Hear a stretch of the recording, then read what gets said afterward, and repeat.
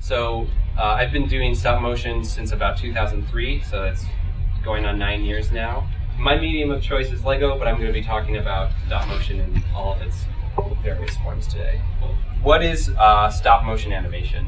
So uh, stop motion is really photography uh, in motion.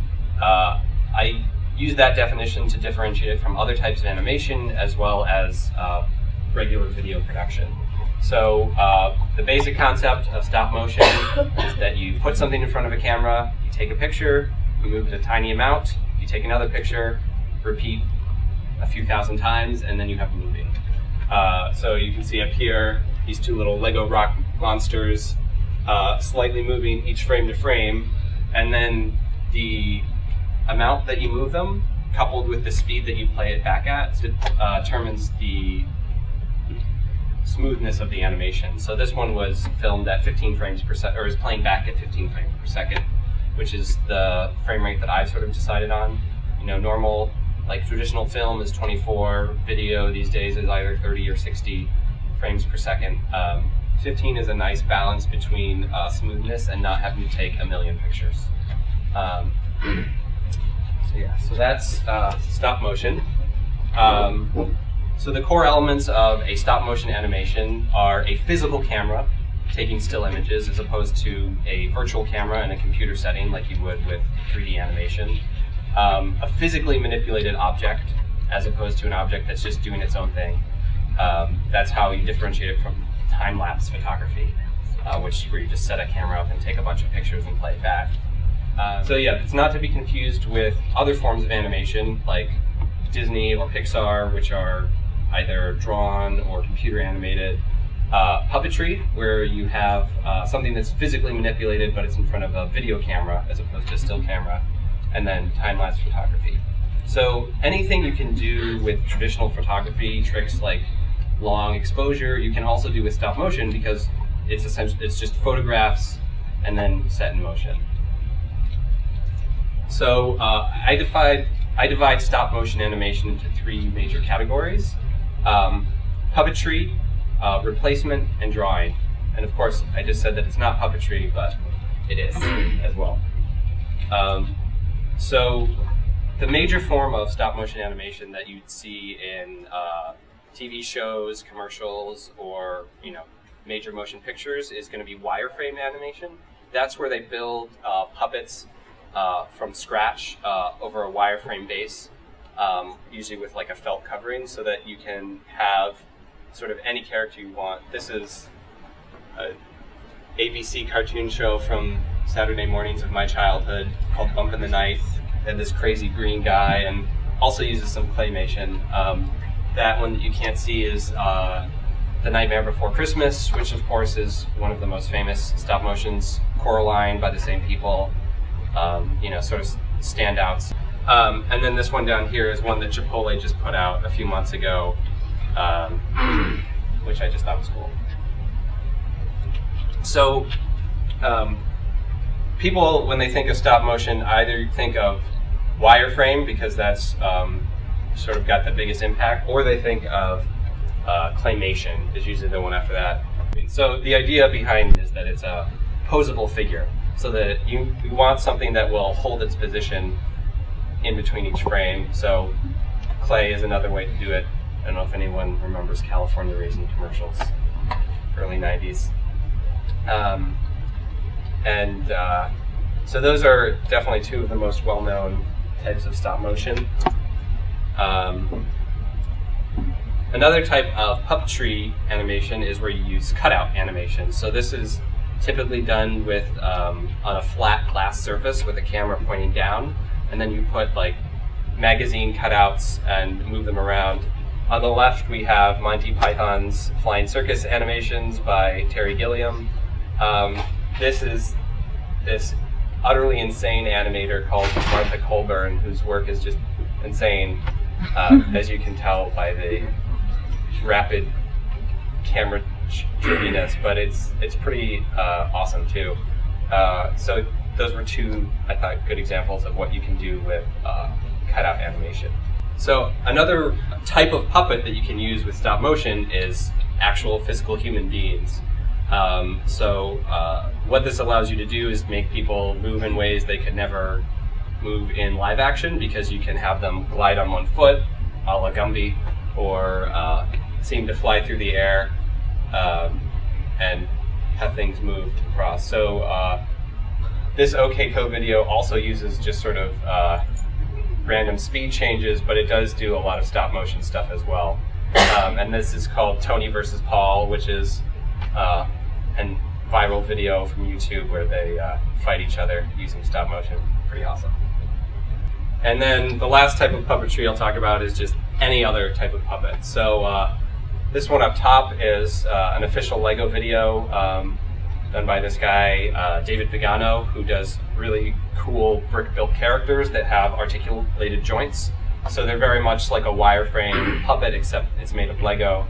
Uh, this one down here, which is hard to see, is uh, filmed in a bookstore, and it's about books coming to life at night.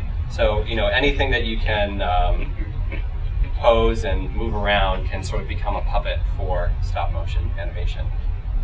Uh, another technique that's big is replacement. That's where you take similar objects and um, replace them one after another. So uh, in this video down at the bottom, which is the world's smallest uh, stop motion animation because it's done on a microscopic level, so that's actually a penny rotating down there. The little girl who's skipping along is, um, you'll notice that she has about like different movements when she's running. So they basically just have a character that's posed like this and a character that's posed like that, and they just um, sub them in every frame that she needs to go like that. So they did that with like I think 50, 50 different versions of her. So she can't you can't pose her, but she comes pre-posed. Um, I'm sure many of you familiar with this uh, Michael Gondry uh, Lego video for the White Stripes. Um, he uses a lot of replacement techniques using Lego in there. Um, again, it's just um, replacing one bit with another. Uh, PES is a really great animator who uses um, toys and food and household objects. Um, as this goes through, you'll see where he cuts up a Rubik's Cube and he uses like smaller versions of Rubik's Cubes to look like it when it's cut up. So it's all about, um, you know, the trick of uh, moving it from one to the other.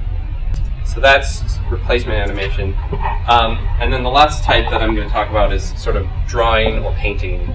Um, so this is where you're usually doing something on a big 2D surface um, and then just sort of documenting the process. So this is done, this is the world's largest stop motion animation. These were both done by Aardman Studios, the guys who did um, Wallace and Gromit.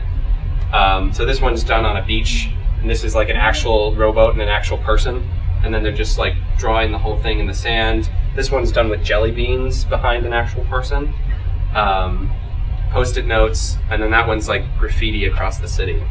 Um, so you know, I think stop motion in, involves a lot of different forms, um, and then the other type of drawing stop motion animation that's really popular is light animation, where you um, use the long exposure techniques of photography so that you draw stuff with light and then take that picture and then do that again and again.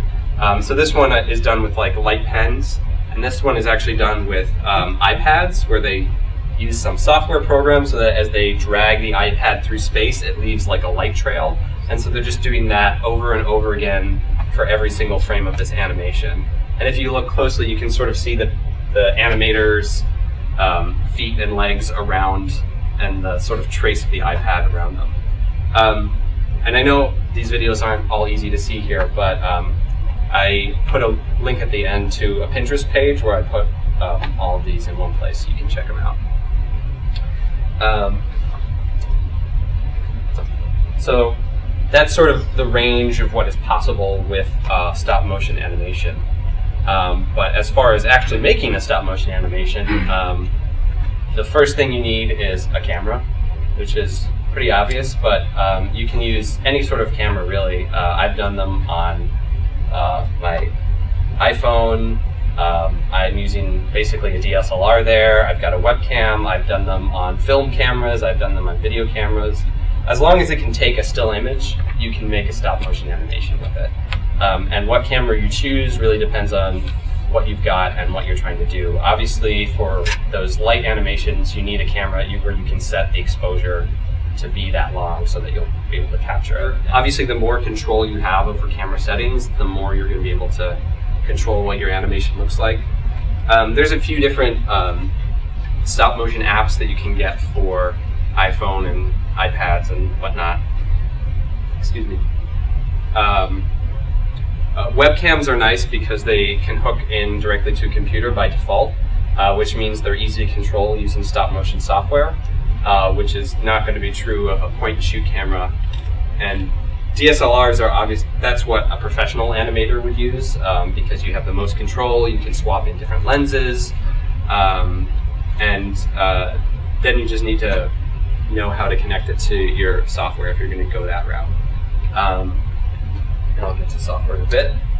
Um, lighting, um, my sets, since I'm working in a Lego scale, are always really small, so I'm primarily using just desk lamps, which I forgot to bring, uh, covered with paper. Um, and uh, when I was at Fire Escape, I did a few where I had like the Arri kit just at a distance and you know was doing colored gels and stuff like that. But um, it doesn't take a lot of uh, money to get the, the right lighting for a stop motion animation. And then obviously if you're doing something like light animation, it's a completely different ballgame. But for a small set on a table, that's usually sufficient. Um, some miscellaneous tools. Um, masking tape is really important if you're doing something uh, set on a table so that you can tape everything down so that if you bump it with your hand, which you will inevitably do, it doesn't move everywhere and completely mess up your shot. Um, so masking tape I always keep on hand. Um, this uh, like sticky tack uh, or putty that you use to stick things to the wall is really good for when you have things that you need to just hold in place for a little bit. I found it really useful with uh, my Lego animations. Um, toothpick and uh, paper clip for getting in to manipulate uh, little people's hands, uh, things like that, because our hands are big and clumsy. So depending on what sort of puppet you're working with, uh, you'll probably want to create some sort of tool. Um, I'll talk a little bit more about the actual process of starting from the beginning, how you would make an animation like that's set to sound and all that. Um, but I just use like this $20 microphone I got at Office Max years and years ago for all my voice recording, and it works great. Um, and then, of course, patience is very important because stop motion takes a lot of time. Um, so, software. Um, when I started out, I was not using any sort of animation software. I would just take pictures um, and then sort of keep track in my mind of where people were and then go from there and then look at the end result. And if it was really bad, I might retake it or I'd just go with it and let it be. What animation software allows you to do is connect uh, a camera to your computer and control all of the camera functions through the computer. And then when you take a picture, it already puts it into sequence um, for your video. And then when you take, you're going to take another, your next picture, you can overlay the previous picture, sort of half transparency, so you can see exactly where it was. And I'll show you that on my computer in a few minutes. Um, exactly where it was so that you know exactly how much you want to move it and that you can set it to play back the last few frames over and over again so you can figure out exactly how much you want to move it for the uh, next frame. Um, and uh, you know, for if you're super super professional like the studio that made Coraline is called uh, Laika, L-A-I-K-A. They're based in Portland, Oregon. So they use software to control rigs that move their cameras so that they have camera movements that are synced with every frame. Uh, I'm not doing camera movements of that level, but um, software can help you sort of keep track of all the different components because one of the big things about stop motion animation is that it takes a lot of pre-planning to pull off it the sort of cinematic type of stop motion animation that you'd see in Coraline or Nightmare Before Christmas. Uh, again, depending on to start out, you know, you can just do it on your cell phone and have fun. But uh, that software is definitely becomes a necessity as you get up into the upper ranges. So, sort of the process for making a uh, animation that's set to sound is that first you want to write your script, then you want to record all the voices, Then you want to basically edit that all together in Final Cut, maybe do storyboards, um, because you never want to spend more time animating than you absolutely have to. So you basically decide where all your shot breaks are going to be, and then you uh, only animate camera angles exactly as many frames as they need to be. Um, and what software allows you to do is you can actually um, see, uh, type in what the dialogue is, and every frame it, you'll, you can uh, see what syllable you're supposed to be on in people's words. Uh, and if you're doing mouth animations for that, that's really important because you know have to know what mouth shape to put on them. Um, that's getting ahead of myself though. So software is great. Oh, and now I'm going to do the live demo. So let me switch over to the software and I'll show you that. So this program that I'm pulling up here is uh, Dragonframe. Let's see if I can get another shot of there. So uh, this is obviously my camera setup over here. I've got my um, Micro Four Thirds camera, which I don't know if you're familiar with. It's a standard that's similar to DSLR but separate. The benefit of a Micro Four Thirds camera is that it doesn't have a physical shutter. Uh, that's important for stop motion animation because you're taking a lot of pictures and most uh, camera shutters are rated for about 30,000 pictures, which is nothing to a stop motion animator. Micro Four Thirds don't have a physical shutter, so there's nothing, no physical elements to wear out by taking lots of pictures. It's all done digitally. Uh, I have a manual remote for the camera so that I don't actually have to touch the camera to take a picture because that ends in camera movement and bumps that are unwanted. Um, and just take a picture now. All right, there. So see how he's uh, has that ghosty overlay of himself. So that lets you see how much you've moved him from the previous frame, and then you can uh,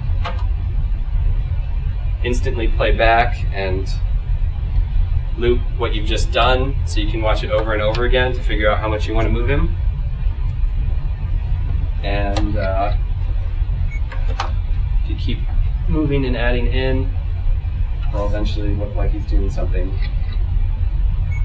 Mostly just sort of spinning around now. But um, so that's what's great about uh, the software is that you know you can instantly see what you've done as opposed to if you're just taking pictures on a camera you have to wait till you're done and pull them into Final Cut and look at them all together. Um, you can see down the side here where I've got the um, audio all listed out by uh, the syllables you know, what do you think you're doing? Why, hello, Jerry. Um, so this scene is uh, 222 frames. Uh, I'm bad at math right now, but if you divide it by 15, that's how many seconds long this animation is. Um, and you can see how uh, it can easily add up to taking a long time to make these things. But um, so uh, yeah, that's the, the basics of stop motion, and this is my current setup. That's my older setup that I was using before that has a cheap webcam and uses free software. Uh, and I've listed all these software options on my website article. So now uh, I guess open the floor to questions and then people can play around. I've got a box of toys. How do you handle effects like moving water? Have you ever done that before? Uh, yes, I have. Should I play show and tell? You know, basically, you'd have to look at uh, what regular water looks like and then try to recreate that with whatever medium you're using. So uh, when I did waves, I looked at like the wakes of boats, and then I just made like little Lego plates that I moved every frame to make water. Um, I haven't done. I tend to stay away from hard things like water. Um, it's only been a couple times that everyone's like, "Oh my god, those waves are the best part." It's like I hated those waves. um, but yeah, but I've seen um, some people who would like who've used like blue sand to be water, which I don't think looks that good. But um, you know, water is definitely a, a tricky one, and uh, making like especially like an ocean, like actual waves is. Uh, people usually just tend to avoid. I'm curious to see, um, you know, the the movie Pirates that's coming out soon. It's by Aardman. I'm curious to see how they handle water there, but um, yeah, mostly avoid. You know, I, I definitely get the most satisfaction out of the most complicated stuff that I do. I have this character in my animated series called Robophilia, who's this like robot reporter. She's sort of like a mix between Mega Man and uh, a crazy person, um, and she's always like, she, well, she's sort of Inspector Gadget in that she has just like random arm movements, and I should actually pull this up rather than describing it poorly. Uh, so she's always a lot of fun to animate. Um, the thing that I'm always having to come up against it in making this series is that um, I want to do crazy big animation things, but that takes much longer, and I have a devoted base of like 12 year old boys who's always clamoring for the next episode. So I have to intercut it with a lot of talking headshots so that I can have something that's easy to animate. Like this scene right here, where it's just a guy at a desk. Um, that's actually the benefit of the news show is that news shows has a lot of people at desks and you don't question it. Um, and then you can cut away to something that's completely insane and totally over the top, um, like this. Um, so yeah, so that uh, took that took three months from when I started to when it was finished. Uh, I had a lot of people helping me out with that one because, as you can tell, there are over characters on screen that are always in motion. So I actually had I would assign a person to each um, character, um, and would have just people over for the weekend and animate for like five hours, and then by the end it was like a hundred man hours of time. But it wasn't all me for once, so uh, for a two minute video. So there's definitely a lot of time, and that's just animating time. Uh, the sets that I built were also relatively large and elaborate because those are on a bigger scale than the minifigures. So that was um, being built over the months, and actually because of the length of time that this was being produced, I would actually I didn't hadn't built all the stuff that was at the end when I, we started animating, um, even though it's all one continuous shot. But you know, I was just moving things in and out. So um, the nice thing about doing this completely for my own sort of enjoyment is that I don't have anyone really making me produce things quickly so that I can just do the craziest thing I can imagine. Um, and you know, Lego is a great medium because you can build anything and it's relatively cheap and it's small, so I don't need a giant sound stage to do something like that. Um, I did it all on a desk, probably about the size. Um, uh, last year, I did a Kickstarter project um, to raise money um, for completing. Uh, so this animation is one part of a seven-part uh, video that when it's complete will be about like a 20, 30 minute video, um, which I'll put out in DVD. So I did a Kickstarter project for that DVD, and so that has added to the guilt level of how long it takes me to complete things because now I have people who have paid me to do it. Uh, and that's how I got this new camera because uh, I wouldn't have been able to afford that on my own. But um, so that that has definitely been a change and uh, has given me lots of guilt, but hasn't made things get done any faster. So uh, that was a long explanation to that question. Other questions? How is your Lego collection? Um, it's it's really big. Uh, I I don't have an exact number, but I have a whole room in my house dedicated to my Lego collection. So uh, hundreds of thousands of pieces. Whatever pieces. Probably not a million. Yeah. What made you decide that you wanted to do this? Um, I never really had a choice. Um, you know, I was a cartoon addict as a kid, so like Cartoon Network, I would just you know mainline every day, even if it was the terrible old Hanna Barbera stuff. Like I didn't care as long as it was bright and colorful.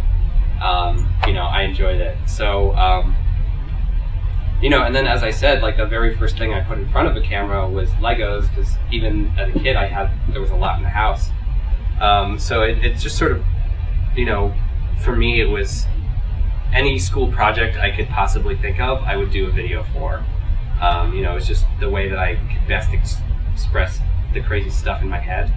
Um, so, you know, it it just sort of felt more natural than anything else I've ever done. So that's how I got to it. Other thoughts, questions? People want to try animation? Well, thanks, everybody.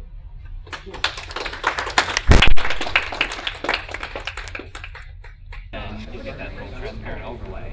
Okay. So maybe should we make, her like knock him out of his? Before you escape. Well, if you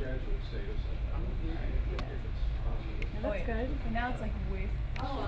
This is your first one, just go with it. Alright. Alright.